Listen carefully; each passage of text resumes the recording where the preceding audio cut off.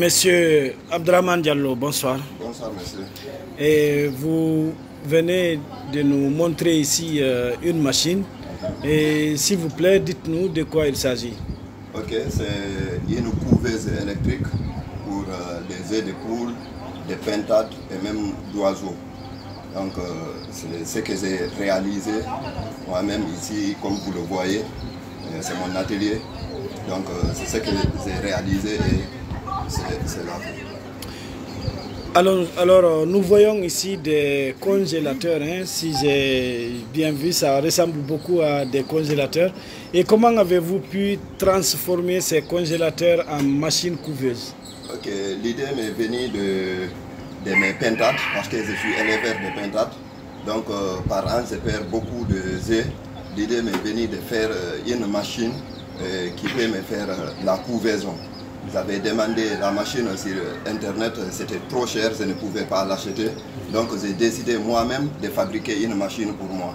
Donc euh, l'idée m'est venue de là. J'ai cherché ces congélateurs-là, c'est les réparateurs. Donc je les ai achetés pour les transformer en couveuses. Alors, c'est justement des anciens congélateurs et avec des machines placées un peu partout. Euh, Je vois ici pratiquement trois congélateurs et avec euh, d'autres petites machines. Expliquez-nous un peu comment ça fonctionne.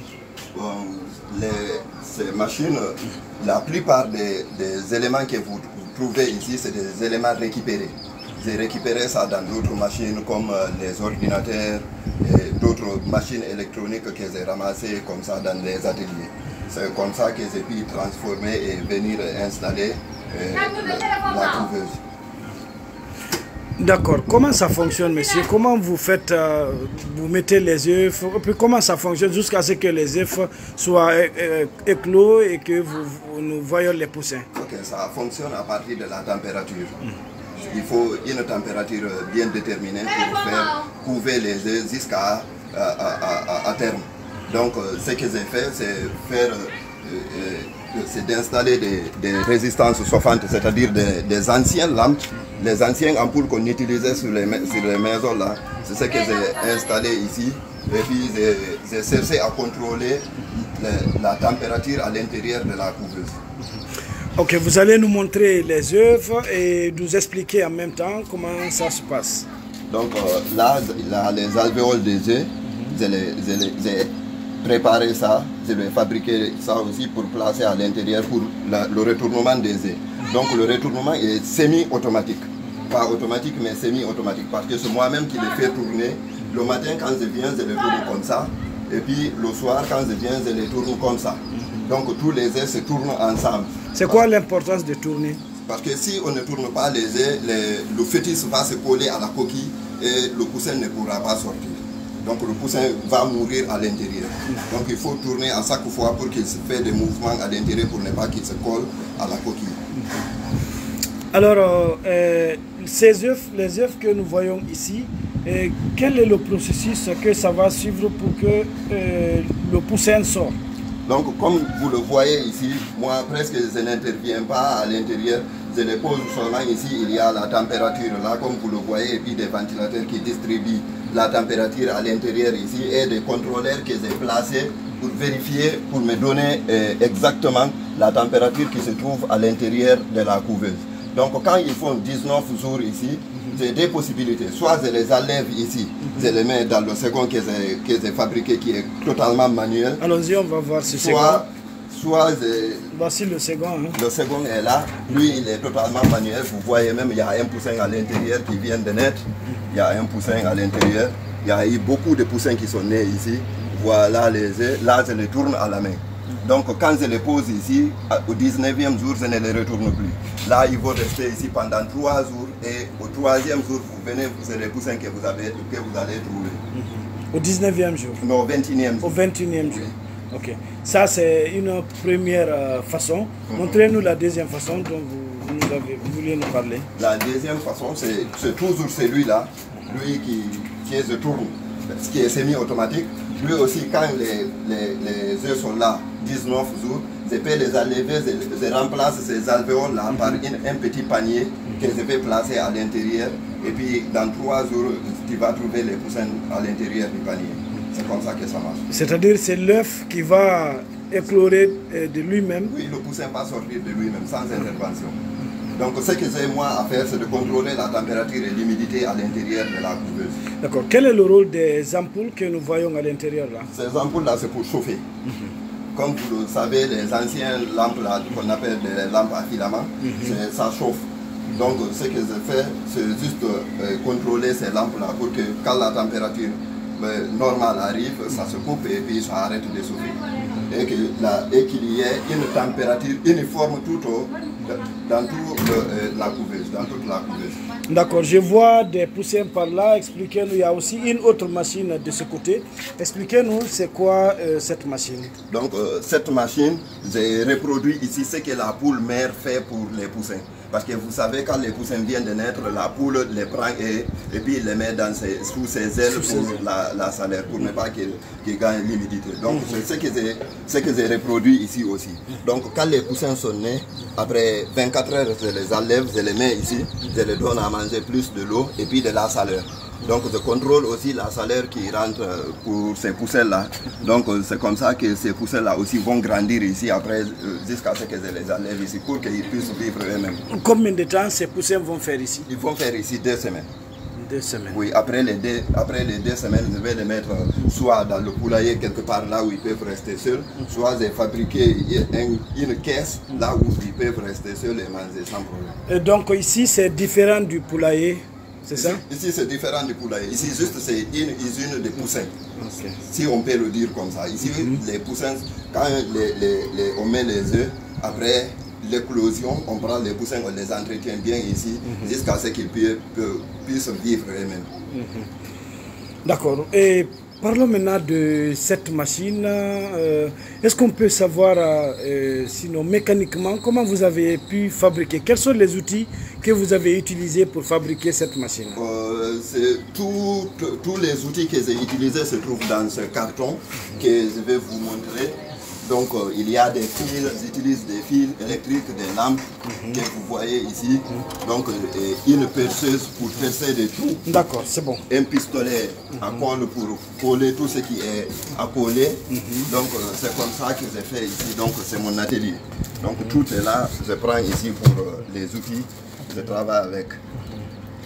D'accord. Euh, Est-ce qu'il y a l'intervention des menuisiers Comment vous faites pour coller, par exemple, euh, ces choses que je vois à l'intérieur? Euh, des fois, il y a l'intervention des menuisiers, mais des fois, c'est moi-même qui fais. Donc, si je trouve que ce que je vais faire, je ne peux pas le faire moi seul, j'envoie c'est les menuisiers, je les explique, je les assiste, on fait ensemble et puis je viens, je monte. Sinon, tout ce qui est là, c'est moi-même qui ai fait. D'accord. Et cette machine, est-ce qu'elle peut être commerciale? Oui, bien sûr, c'est ça que je veux.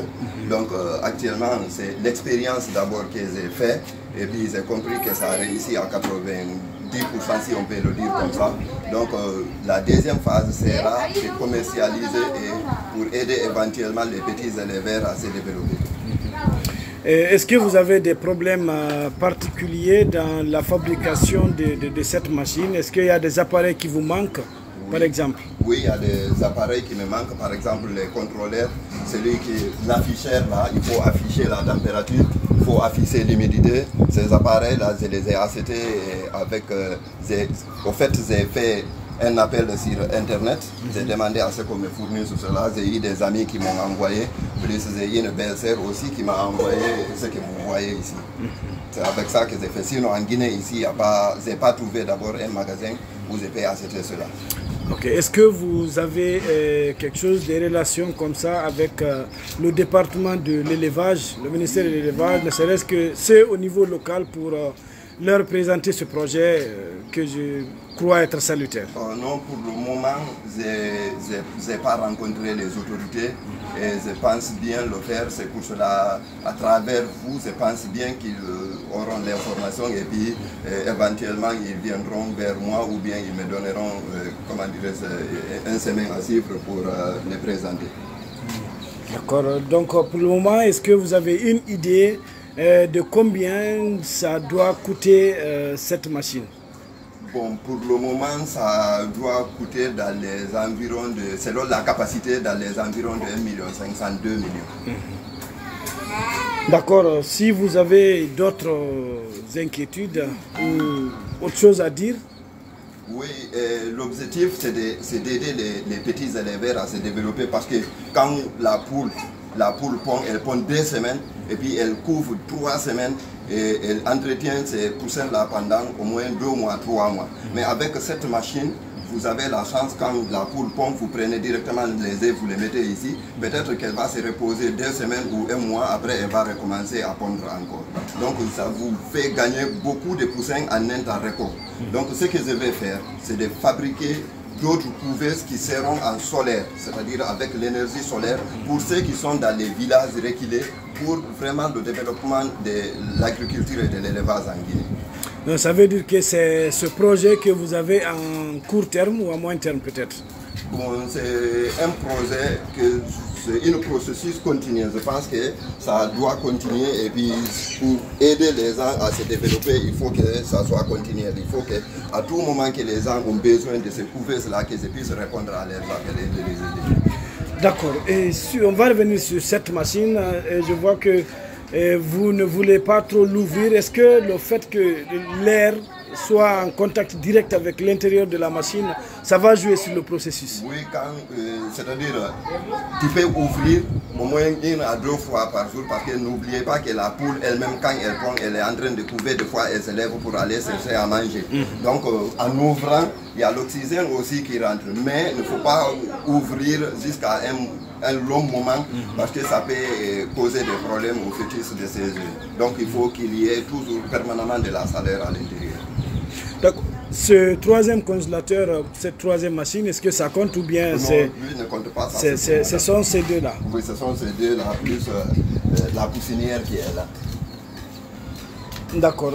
Cette température au niveau de la poussinière, ça doit aller jusqu'à quelle température? Ça doit aller jusqu'à 35 degrés. Après 35 degrés, ça s'arrête jusqu'à ce que ça redescende aussi, jusqu'à 34 degrés, et puis ça, ça recommence le processus.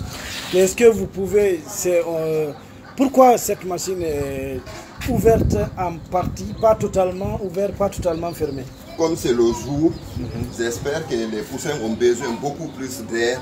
C'est pour cela que j'ai ouvert en partie pour que l'air rentre plus et puis qu'ils pu- puissent voir à l'intérieur et manger comme convenablement. Sinon, je peux le fermer totalement et ça ne, ça ne les empêche donc, pas. donc cela ne dérange à rien ne- leur évolution. Cela ne dérange à rien. D'accord. Euh, Monsieur Diallo, à moins que vous n'ayez autre chose, je vous remercie. Je vais lancer un appel vraiment à toutes les bonnes volontés, aux autorités, vraiment d'aider pour que ces trucs-là soient vraiment euh. J'ai envie de former d'autres personnes et je sais qu'il y a d'autres personnes aussi qui sont comme moi, qui sont dans ce pays-là et qui ne sont pas vraiment vus. Donc euh, je fais un appel à tout le monde, à toute, à toute la jeunesse guinéenne, de- d'entreprendre, d'oser entreprendre. Parce que moi, je l'ai fait avec mes propres moyens. Je l'ai fait euh, doucement, doucement, jusqu'à ce que j'ai construit cela. Donc ça- c'est possible. Rien n'est impossible dans ce monde. Il faut que les gens osent entreprendre et il faut que les gens osent aller au bout de leurs idées. Donc j'ai envie de former d'autres personnes pour qu'elles aussi ils puissent euh, faire ce travail-là et gagner leur pain. Sinon, depuis quand vous faites cette activité, M. Diallo? Euh, presque depuis, que, depuis mon enfance, j'aime bien la technique et faire beaucoup d'autres choses. Je, je le fais souvent avec des petits trucs. Euh, c'est cette fois-ci que j'ai pensé, avec, euh, avec, parce que c'est venu de mes, de mes pentades. Mes pentades, avec les, les, les, œufs que j'ai perdus, je me suis dit non, il faut que ça s'arrête, il faut que ces œufs-là, de ne pas les perdre comme ça. Donc c'est pour cela que j'ai cherché à fabriquer la couveuse. L'idée est venue de là et puis je l'ai concrétisée. Est-ce que vous avez déjà euh, eu des bénéfices de cette activité? Est-ce que ça vous, rend- euh, euh, ça vous aide un peu dans la vie? Euh, oui, je dirais oui, et ça m'aide parce que euh, si je prends par exemple euh, les, poussins là, dans quelques temps, même si je ne les vends pas, je peux, les manger, je peux utiliser les œufs. Je vous donne un exemple, pendant le mois de carême, pendant tout le mois de carême, je n'ai pas acheté. Avec les, le- mon poulailler et puis avec ma famille, c'est là-bas où on s'est nourri des œufs jusqu'à la fin du mois de carême. Et aujourd'hui, on n'achète pas aussi des œufs. On des œufs. Oui, je voulais juste savoir, est-ce que vous avez un poulailler? Oui, c'est un petit poulailler à côté. Voilà. Est-ce que avec votre poulailler là, désormais c'est avec cette machine que vous utilisez pour euh, refaire des poussins sans que vous n'achetez? Permanemment, je vais l'utiliser à chaque fois que les poules pondent. Après les 10 jours, 11 jours, comme ça, je ramasse les œufs et les envoie ici. Ça veut dire que vous, vous n'achetez plus des poussins au niveau du marché? Non, je n'achète plus de poussins. Depuis quand?